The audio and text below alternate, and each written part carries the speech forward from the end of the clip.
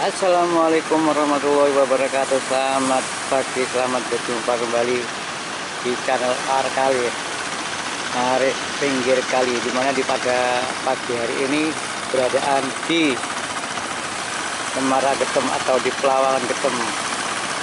Dan para nelayan Getem pun mulai berangkat di pagi hari ini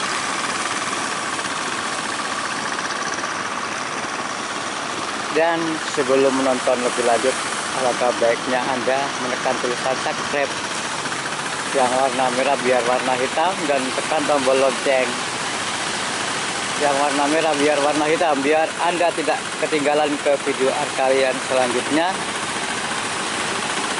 Dan semoga yang setelah subscribe video ini semoga Anda diberi kemudahan kesuksesan Amin ya rabbal alamin. Ya.